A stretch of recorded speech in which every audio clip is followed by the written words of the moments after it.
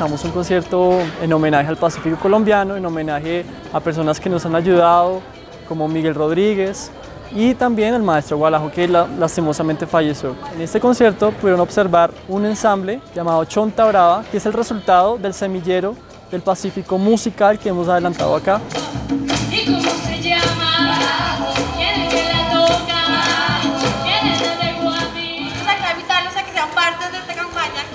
Pacífico que trata de que todos los estudiantes, mejores estudiantes del litoral, ingresen en los Andes.